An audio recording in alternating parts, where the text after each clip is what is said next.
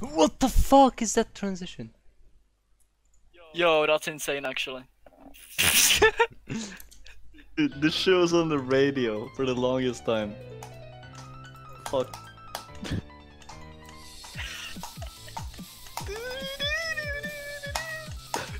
Years ago.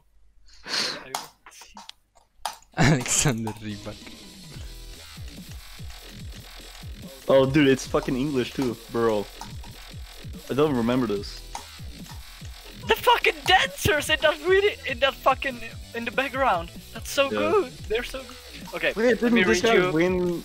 He won Eurovision, I think, in 2009. Okay, let me.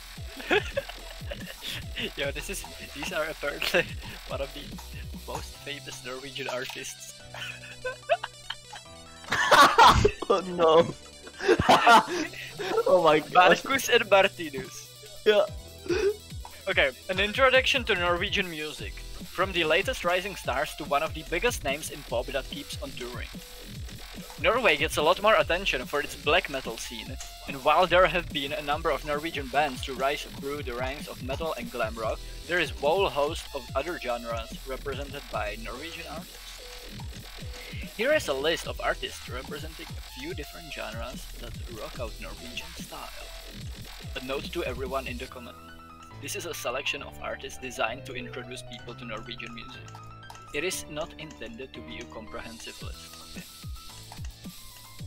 Rising Stars Astrid S. Astrid Smeplass from Rennebu got her first breakthrough in music after winning the Norwegian television singing program Idol. She has toured throughout Europe and the US, has uh ah, she has toured Oh, like that. Okay, she has had her music included in the hit Norwegian television program Skam and Skam Skam.